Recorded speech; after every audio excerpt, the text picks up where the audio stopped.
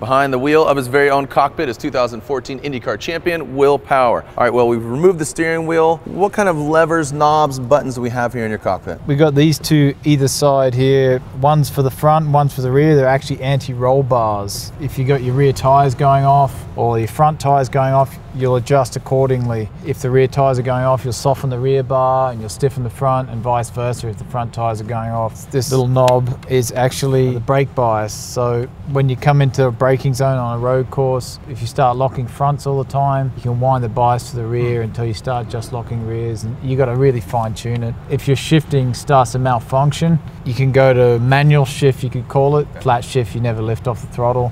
If you're having problems, you'll do that, and then you'll have to lift, and then you'll have to blip on the way down. This button here, that's the fire extinguisher.